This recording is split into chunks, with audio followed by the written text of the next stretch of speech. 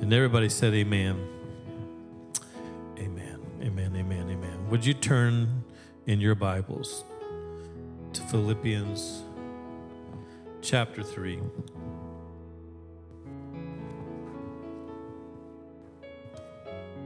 Today we're starting a new series.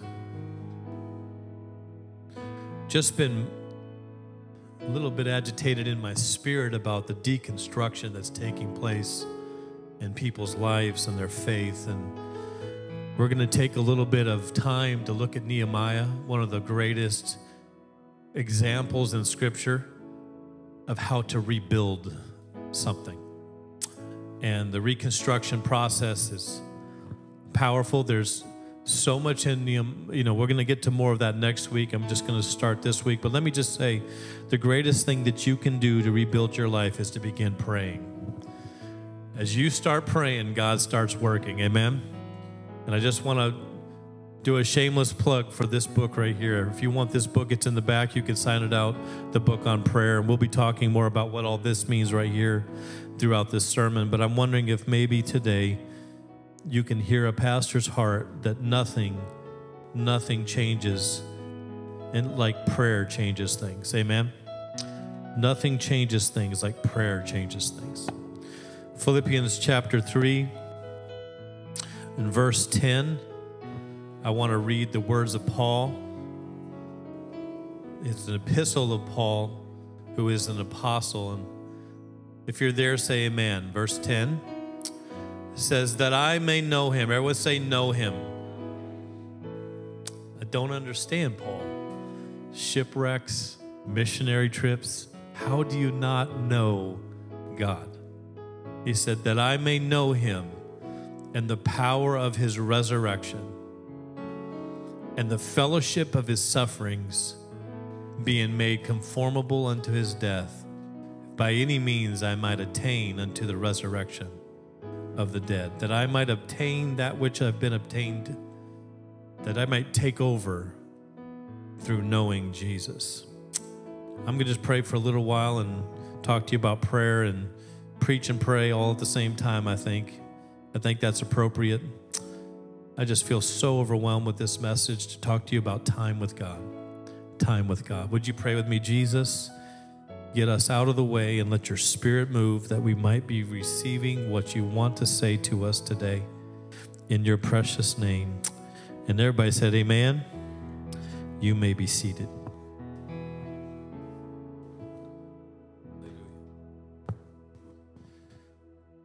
I did forget all the cheerful givers in the house. Please forgive me for that. I did forget the offering today. There was a poor man, and uh, he was talking with God in prayer because someone said, Go ahead and pray. God will hear you. And as he prayed, he said, Lord, how long is a million years? I like to start with something funny. You kind of know it. The smirk on my face is where I'm going with this. How long is a million years? And God said, Oh, it's it's only but a second to me. And he's like, Okay, Lord, well, no, I, am poor and I need some things. How much is a million dollars to you, God? And God said, Oh, it's only but a dollar to me. And then the poor man said, God, would you give me a dollar? And God said, Absolutely. Just one second.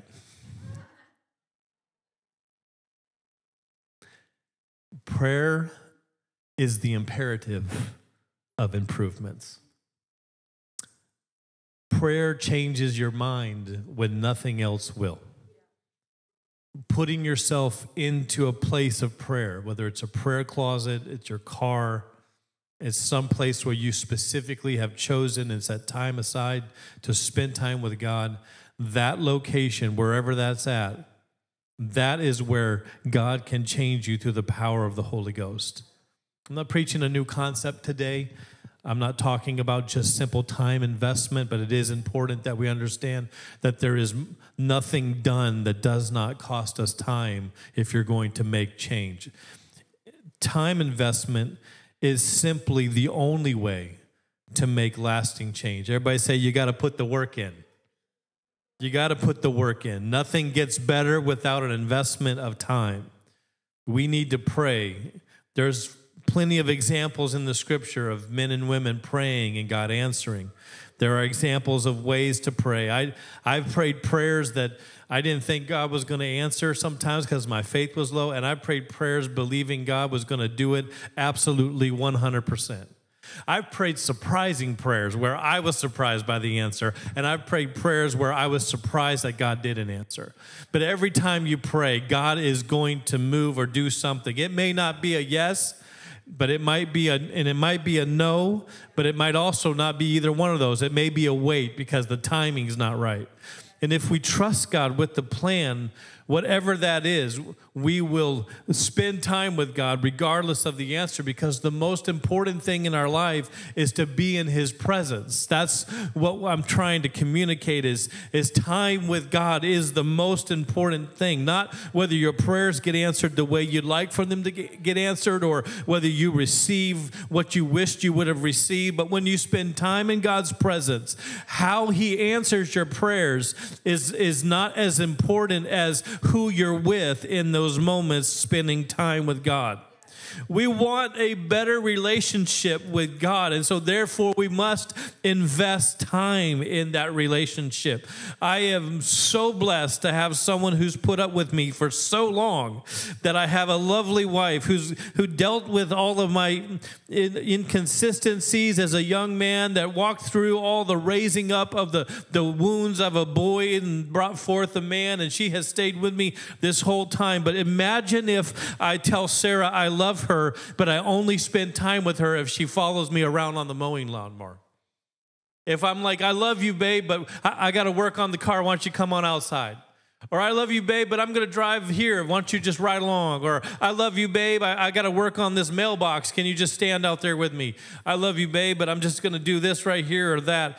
After a while, even though she doesn't mind being my sidekick in some of those things, eventually she wants specific and individual dedicated time sitting down and working through our relationship together.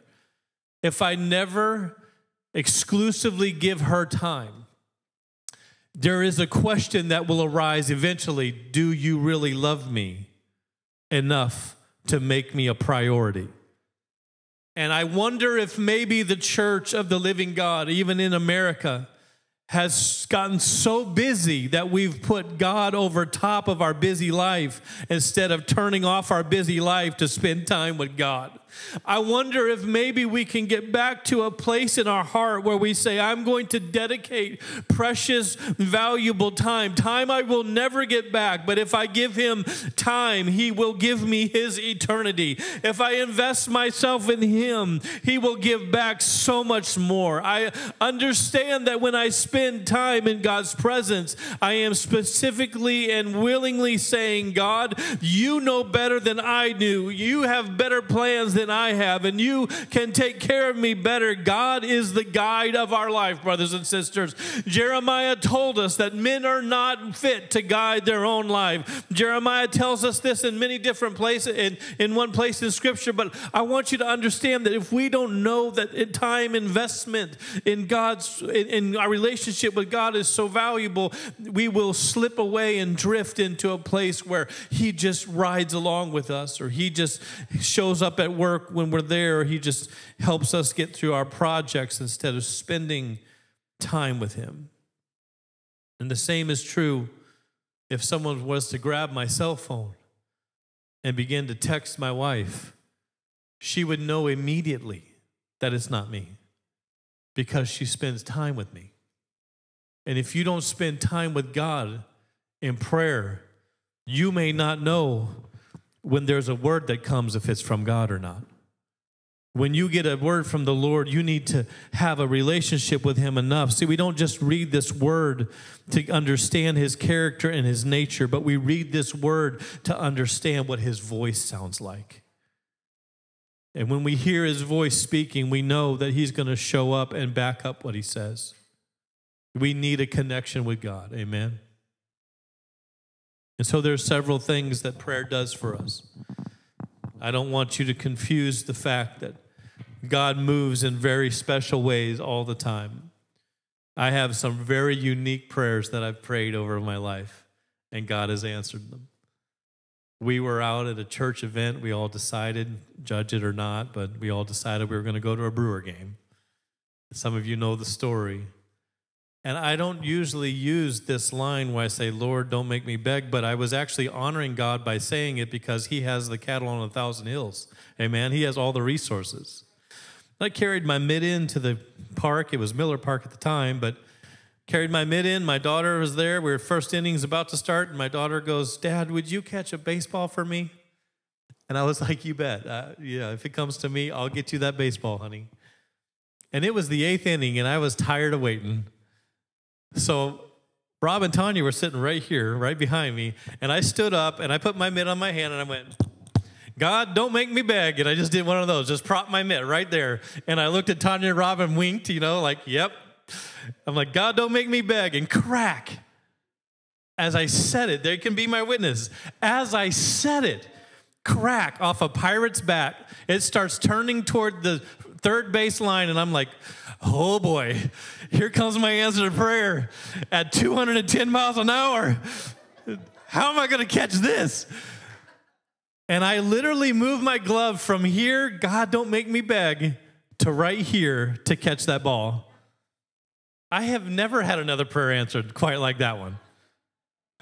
But you can believe I have asked the Lord, Lord, don't make me beg, thinking that might work again. I caught that ball. My hand was on fire. I mean, that came in so hot. I literally lined up with it out there and it was in my mid. And I like, I think an angel started like out there and just brought it to my mid. I caught it in front of a woman's face. I saved her from going to the hospital. And it was just a, it was an amazing moment. And I'm like, my hand is just ringing. I'm just in pain and I'm going, oh man, that hurts. And I look down and the ball is gone. And I'm like, I, I felt it. It hurt. It should be in my mid. And I said, Where did it go? And all of a sudden, someone goes, Your daughter's got it. She believes so much in her dad that she ran down, got that ball, and she was headed up the stairs to tell her friends, Look what I got. Look what my dad got for me. I can't take her to any other sporting events because now I got to catch footballs, I got to catch basketballs. I got to come across with this big dad promise now. I fulfilled it with the baseball. Now everything else has got to be too much for me to do. But when you spend time with God, you know immediately what God can do. And you ask big things of your Father. My little daughter had no idea what she had asked. She had no idea that I wasn't a professional level catcher. And she had no idea that those ball coming off the bat comes in at nearly 170 miles an hour. She had no idea what it took to even have a baseball come to me in that moment. The, the chances of a ball flying into the stands where I was standing. She didn't know any of that. All she did was, Daddy, can you catch me a ball? Sometimes we need to have that kind of faith we don't have to know what it's going to cost. We don't know, have to know how it's going to get arranged. We don't have to know how God's going to do it or all the factors and the science involved. When you walk to an altar and say, God, would you heal me? Father, would you touch my kids? Father, would you help? Would you, would you do it? God will say, Yes, let me take care of it because you put your faith and your trust in me. I will organize things in a way that makes no sense to a scientist, makes no sense to buoyancy of water. I will let you walk out of a boat, Peter, if you ask your father to do so. I will do it for you. I can change even the molecular structure of what's going on in your body and remove cancer at a moment that you ask, Father, can you do it? The power of prayer changes everything. And you are every day given the gift of spending time with the God who spins the universe. If I can impress you today, I would tell you that He loves you more than you know. And as men and as women, we're often in our society shown things that are not like God at all. We're shown things like you get get things from God as blessings, and you're supposed to climb the ladder, and you, you, you get better and better and better and better and better with God's blessings. But God did something completely different. He had all splendor and all glory and all power. And the Bible says he made the stars also. Five words for what you see at night. You want to be blown away by five words? Drive out to Zion National Park when it gets dark and there's no light pollution and look up into the Milky Way. He made all of that in five words in your Bible. That's the God we serve. He was the highest of the highest. He's the superlative of all that is good. And he said, I'll divest myself. We want to get in the door, start working, and work our way up the ladder. That's how men think of it. But God said, I will have it all and lay it all down that I might come and spend time with you. This is the God you have an opportunity of speaking with every morning. This is the God you have an opportunity of calling on when you're driving on your way to work. This is the God that you can say, Lord, I want to seek your face. And scripture tells us in very powerful ways that he moves in our midst when we change our desires. Of course, I can tell you out of all the prayers he's answered, I'm thankful for the times whenever a brother or sister has walked up and prayed for me, and I had not talked to them, I had not told them anything, they didn't even know what was going on in my life, and God dropped some words in their mouth prophetically to pray over me. This just happened. This isn't something I'm talking about that doesn't happen. A couple weeks ago i was having some real hip pain. I don't, I don't know what was going on. Don't i'm not looking for sympathy. I'm just saying uh, this knee is bothering me right even now. I'm having like shooting pain down that leg. And i didn't know what it was. I don't know what's going on. And i had told no one because i I have a high tolerance for pain. Thank the Lord I have a high tolerance for pain because, you know, when you're like me, uh, you do some dumb stuff sometimes. And if you're going to be dumb, you have to be strong, you know? Just kidding the redneck motto. But what I found out was I came over here and I was just praying and I was just talking to the Lord. I hadn't even told my wife. This is how beautiful God is. I hadn't even told my wife that I was dealing with some hip pain and knee pain on this side. And Brother Rob walks up, puts his hand on my back, and he said, God gave me a dream last night that you were having hip pain. Nobody knew. Nobody knew what I was dealing with. I didn't want to bother anybody. Have you ever been there? Oh, I don't bother bother everybody with it. I'm okay. Everybody else has their own pains and their own struggles, and it's fine. I'll just take it to the Lord. I took it to Jesus, and God talked to somebody to come pray for me when He should have never known about it. I'm thankful that God will speak to us in our prayer times. I'm thankful that God will find us in dreams and visions, and He'll speak to us and help us, and He'll send somebody to you with a word that says, You know what? You may not even know that I know, but I'm going to pray for you, and God will put something in His mouth. I've been praying before, just standing in the altar, and my foot is hurting, and uh, uh, Elia will come up and she'll put her hand on me. She doesn't even know what she's praying. She's just going, Father, would you bless? And she just has an open spirit. And the other two, three weeks ago, my foot was hurting. I don't know if I just had a shoe thing or something, and my foot was hurting. Nobody knew about that. And Elia comes up and, Lord, bless my pastor. It was a little awkward, but hey, love it anyways. And she just kind of long distance, like, pastor. And she's doing one of those, and then all of a sudden she goes, Would you just touch his foot pain?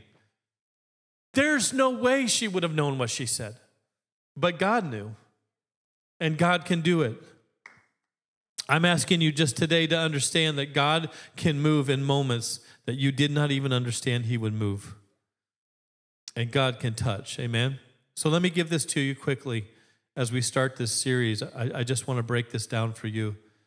Understand that there's been uh, an overwhelming deconstruction of faith going on in our world. And yes, we have the fall of man, we have sin, we have disease, and we have sickness, but there are people taking to social platforms to show their deconstruction of their faith, and they're walking away from God. And I can tell you that the world that we're living in is struggling with all kinds of mental situations because they do not have the power of God in their life. And my prayer is this that we will get a prayer life that guides us into God's presence, that allows us to pray for them and be sincere about it and walk through life with people that need to hear Jesus Christ.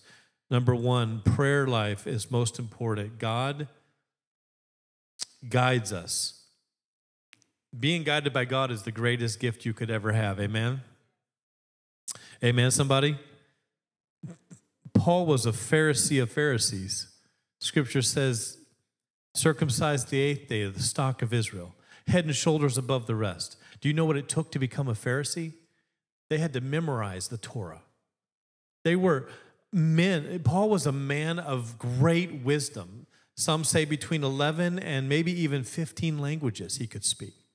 But nonetheless, Paul said that I may know him and the power, the man who was qualified to be a Pharisee at the highest level, knew God's word, memorization, had God's word in his heart. He said, I want to know God and the power of his resurrection.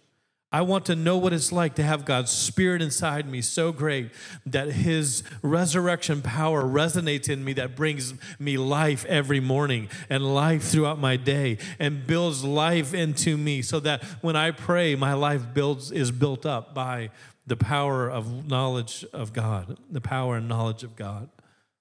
It, number one, everybody say, a prayer life builds you. While the Bible doesn't certainly, and thank you, Sarah, while the Bible certainly doesn't um, say those specific words in Jude 1 and 20, we understand that the word says this But you, dear friends, by building yourselves up in your most holy faith and praying in the Holy Spirit. In other words, praying in the Holy Spirit, there's two things in Scripture. Number one is praying in your knowledge praying in your knowledge or praying in the spirit. One, one is referring to praying in tongues, and the other is referred to praying in your natural born language. When you pray in your natural born language, it's very powerful. But there's something even more powerful when you pray in the Holy Ghost, because when you pray in the tongues and you pray in the Holy Ghost, you are praying in the perfect will of God. When you pray in your language, you may pray prayers that are not in the perfect will of God. You desire to be, but you might pray amiss. But when you pray in the Holy Ghost, you can literally begin to have intercessory prayer and groaning come through your spirit to God's spirit because you're praying in perfect alignment with God's will. That's why having the Holy Ghost and speaking in tongues is so very much preached in this church. This verse tells us that we have to pray in the Holy Spirit. The verse encourages the believer to build themselves up in faith through prayer. Amen.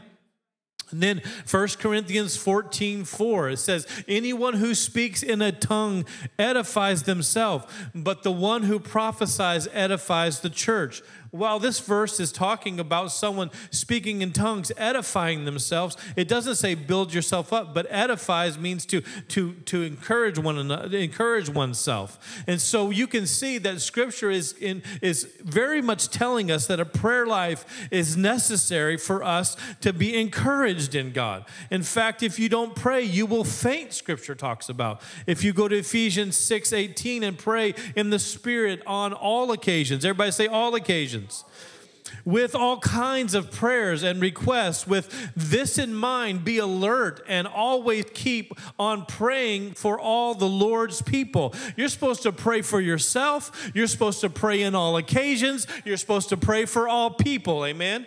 That's what that's what keeps us in, in cohesion and in unity in the church, is we're not looking at the different kinds of folks. We're looking at the kind of prayers we can pray for everybody. Praying in the spirit and continually engaging in prayer is is the scene of Scripture. It's the way that they did it in Scripture. It strengthened one another, it strengthened each other, it strengthened each other in community. We don't just need to have coffee buddies that we go to Starbucks with, but we need to get together like this right now in this place and have the word go forward and have prayers go up and have the rain of God and the blessings of God come down. Amen.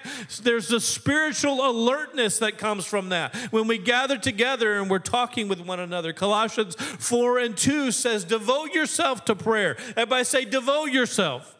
Devote yourself to prayer, being watchful and thankful. Devotion and prayer is associated with watchfulness and gratitude. If you want to change your life and you want to change your emotions throughout the day, I dare you to start praying gratitude prayers every chance you get. And in fact, they call them in, in, in, in you know, like self help, they call it magic moments, where you take something in your day and you're grateful for even the littlest of things. The littlest of things happen, and you say, Thank you, Lord, for this, or, or thank you for that. If you take that and you put that into prayer, and throughout your day, you take two to three prayer moments where you say, Thank you, God, that I have children. I've been blessed with having children. Thank you, God, that I have a job. Thank you, God, that I can walk from my car at the end of the parking lot because there's no parking parking spaces from here to the door, but I get the exercise. Thank you, God, for exercise.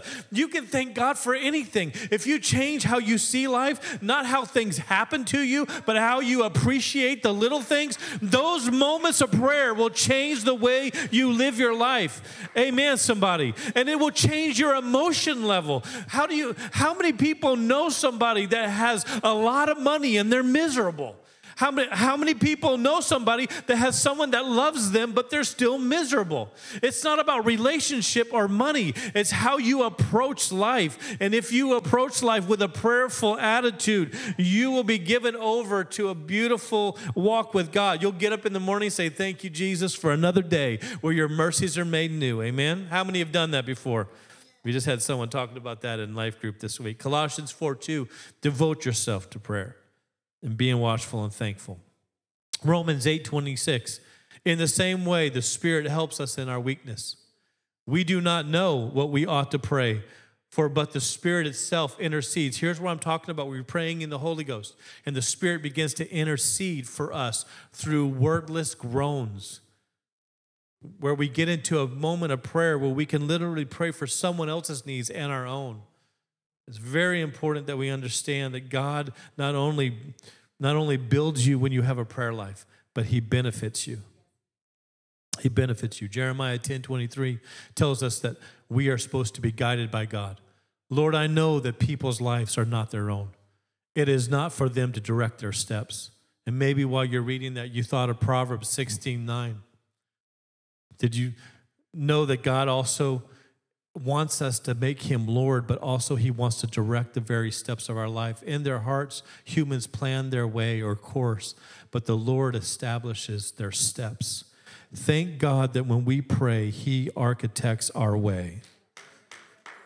Can I say it again? Thank God that when we pray, he architects our way because the Bible says that you, you don't have the ability to know enough about what's coming in your future to analyze all the different factors and make the best choice.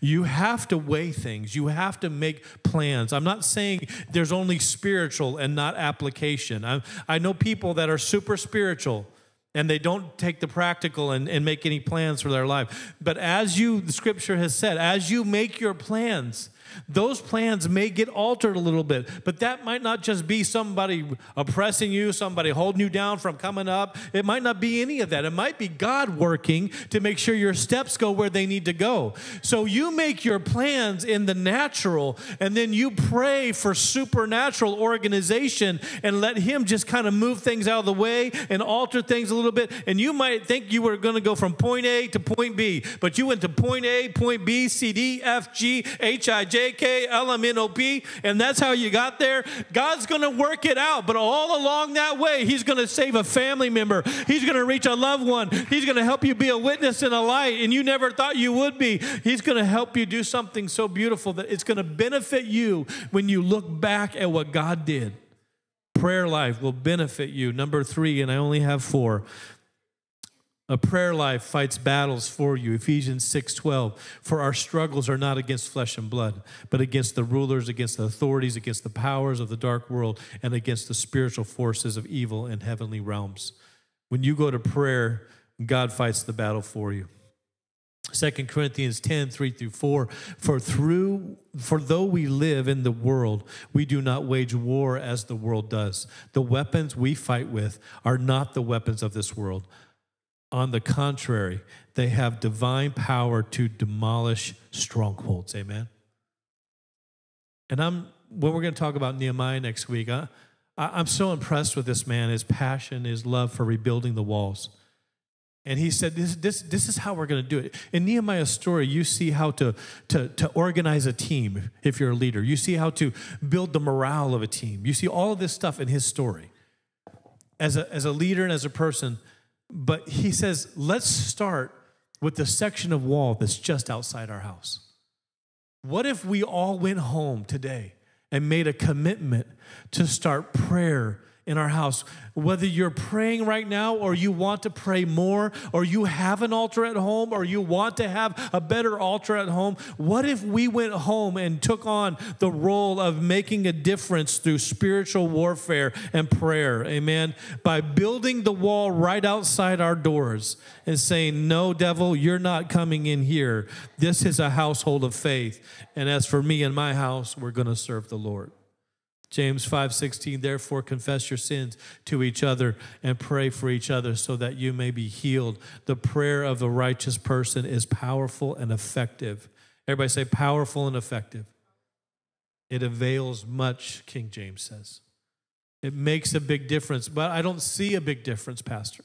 And I, I am not in ministry. I, I I don't I don't I just have a job that I work and I just pay my bills and I'm responsible and let me say something about this. Nehemiah was not a priest, but he decided to make a difference.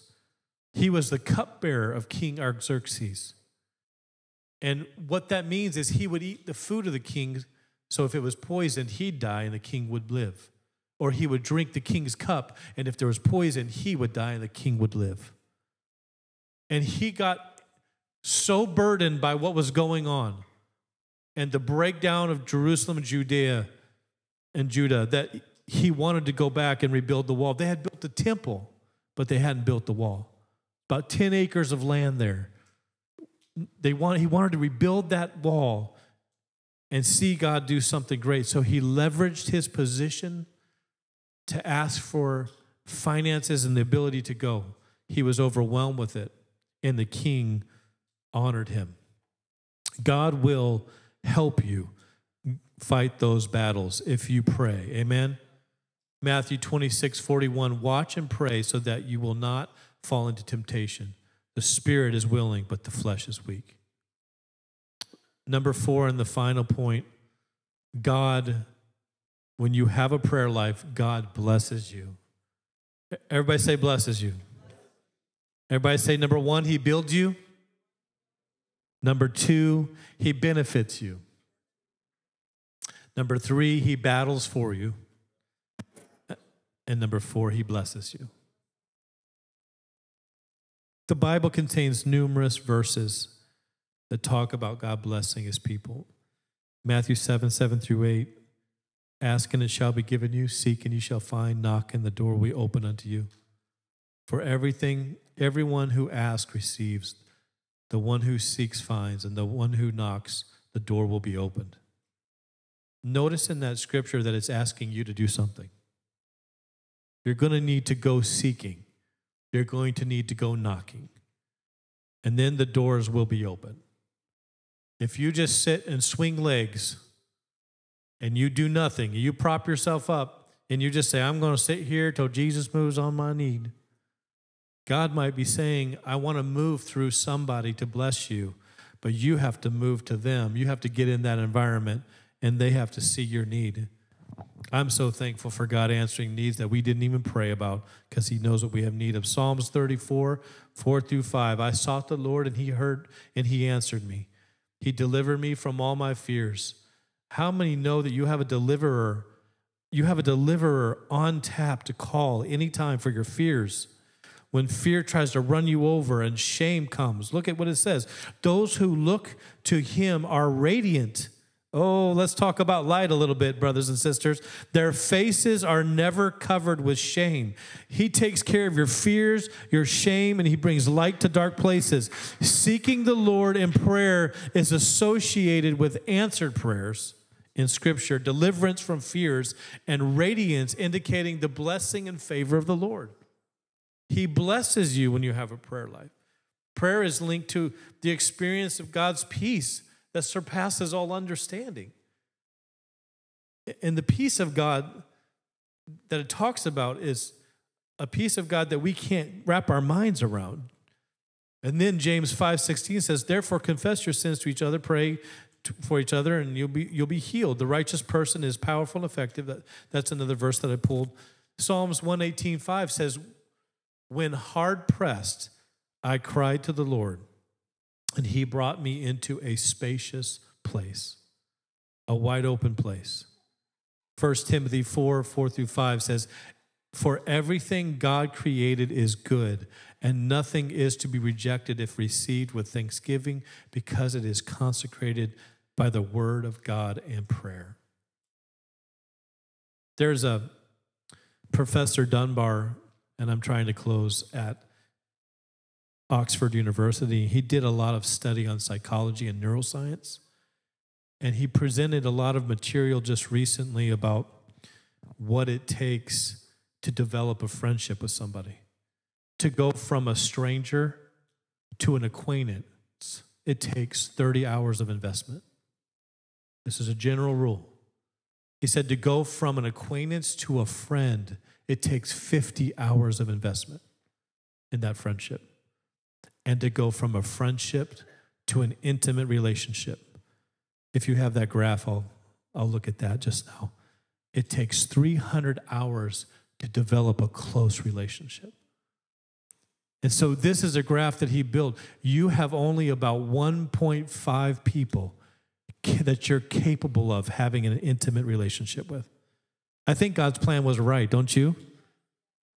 That he knew that we needed one person in our life and so I'm thankful that I know that. I don't know who the point five is, but that person's really going to get robbed in my relationship because I only got one. Amen.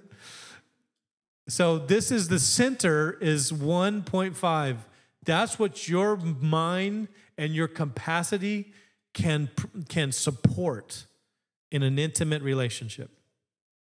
And then you go to close friends. You can only have about five close friends. And that includes the people in the previous circle, his material said.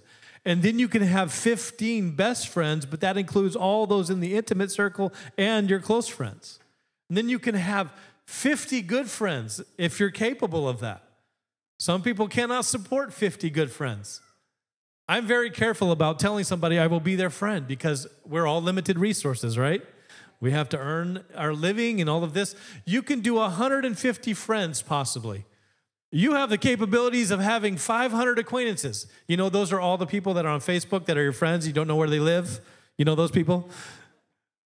You have 500 that you can be acquainted with. You can do 1,500 known names. Your brain can support that. And you can do 5,000 known faces. Have you ever had someone say, I don't remember names, but I never forget a face? That's those people. And his material says that you're going to need to spend 300 hours to get close to anything that you want to be a part of you want a part of your life and so as we as i was praying over this and i was asking god how do i compel our church to see the biggest change we've ever seen of influx of loved ones influx of souls revival people getting the holy spirit people falling on their face in prayer and seeking god how do i do that and he, of course, took me to the very familiar passage. Uh, I'm sorry, I, I'm fighting my, my iPad in Second Chronicles. If you guys would help me pull it up, it's at the bottom of my notes. Second Chronicles 7:14 says, If my people who are called by my name will humble themselves and pray and seek my face and turn from their wicked ways, then I will forgive their sins and will heal their, heal their land.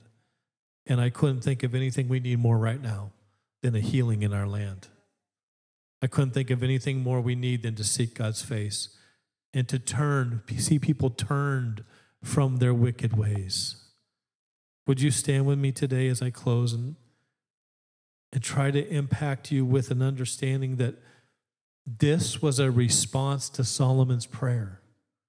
Solomon, it was the high point in Israel's history where they're dedicating the temple and they have done all of these sacrifices and they've given so much of their time to prepare and, and god responds and says not if the world will turn their heart but if the people of god will turn their heart if the people of god that are called by his name we've already got it. This isn't a salvation prayer. This is a turning things around prayer. This is a bringing things back to where they need to be prayer.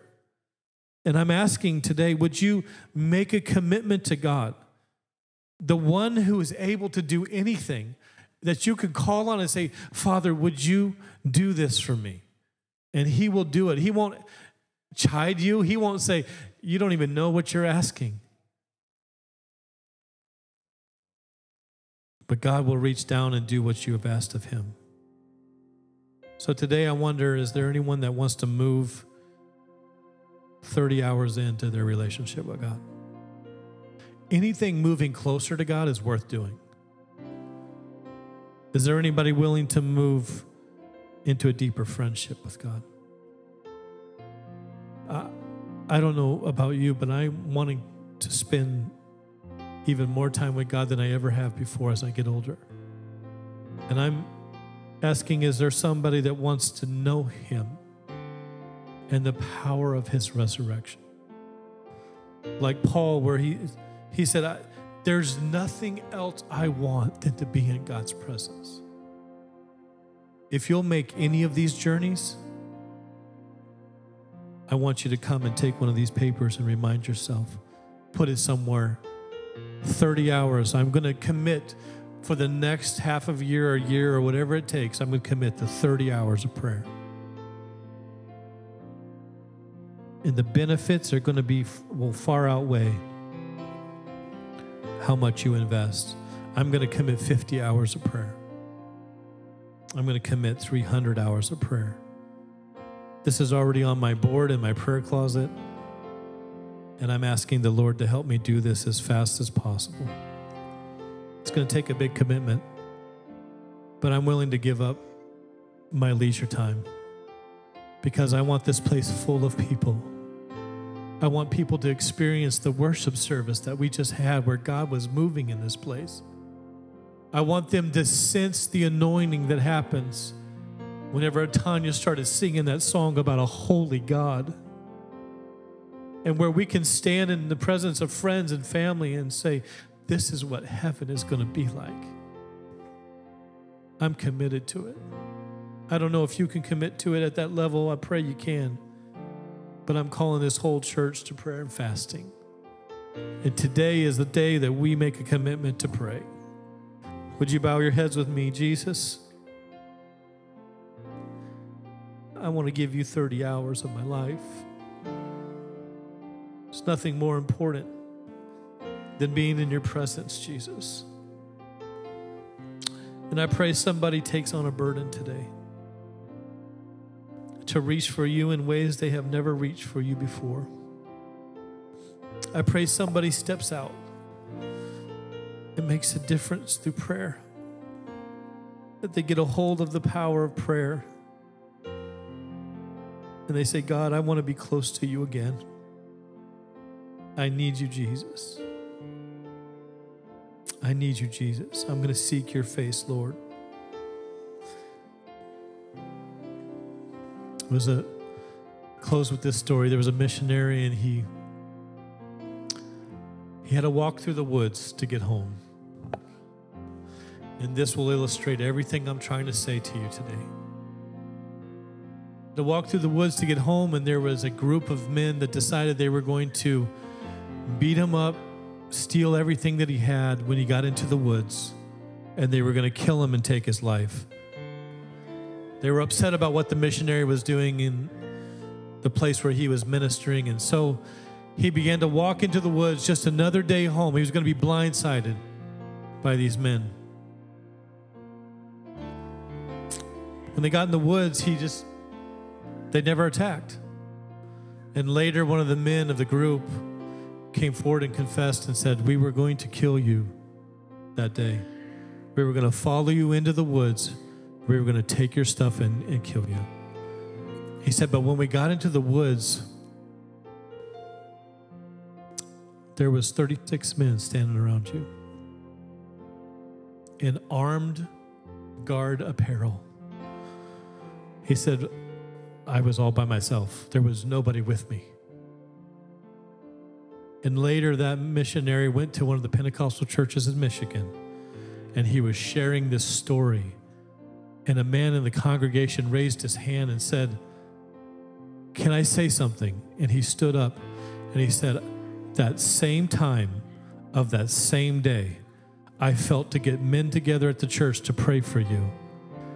He said, Would you all stand up who came to pray for the missionary? And 36 men stood up. I'm telling you, this isn't just hope so stuff. The power of prayer and time with God changes things. It builds you, it battles for you, it protects you. And so I'm not asking you to just make an investment. I'm asking you to change your life and change the life of those around you through prayer. Jesus, help us to hear your call today. There's nothing more important we can do. Everything can wait.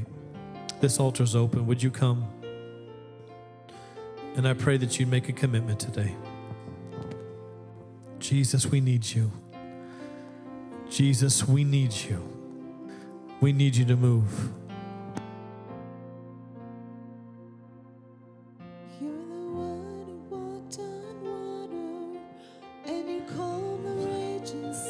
If you would make a commitment today, would you pray for a minute and ask God to help you to rebuild whatever you need to rebuild in your life? But mostly today, we're talking about reconstructing prayer, reconstructing a time with God. And then would you come and you take a commitment? This is not a light moment. This is a heavy commitment that I want you to make. But I'm calling on you to make it in faith, believing that you'll be able to keep it. Jesus. Jesus. I would that in the church we would lift our voice, just begin to pray. God, would you help us? If there's something you need to take to the Lord, would you do that right now? Lord, you know the concerns that are on somebody's mind and heart right now. You know a problem or a, a situation that's come to this altar with them. God, I'm praying you allow us to release our time and trust that you're going to redeem the time that we give to you. That we take moments we can never return to, but we give them to you, that you would invest them in our life and that you would meet us in these moments. You're the one who walked on water. The one who walked on you water. calmed the raging You deserve my time. Come on, reach You for him right now. He deserves our time. He gives us the breath of this day. He deserves our days. He deserves our moments. I'm praying for a commitment to break loose in our hearts. Where we Give him more time in our life. We don't just run through our day saying, Jesus, I know you're there. I know he loves to walk with us. But what if we could make a dedicated moment where we say, I'm going to give you an hour, I'm going to give you 15 minutes a day and build up 300 hours, God. I'm going to build up 50 hours, I'm going to build up 30. And I promise you, your life will change. Your life will change. It'll be forever changed. I promise you, this is not something that will not affect you. Your commitment here will forever change your future. He's an amazing God, and He responds when we reach out, when we step into moments with Him. Call on Him by may be found. call on him while he may be found. than enough. You are amazing. We love you, Jesus. We love you, Jesus. Move us to prayer, God. With authority Move us to prayer. What if we were the one? What if we were the You're one the king who came to serve, that God uses to save someone? What if we were the one that were in those 36 men that stood and prayed and God spared the missionary? What if we were the one cross. In your who said, "I'm kindness worth- and your mercy, I'm, I'm willing to give. You're worthy of it all, God.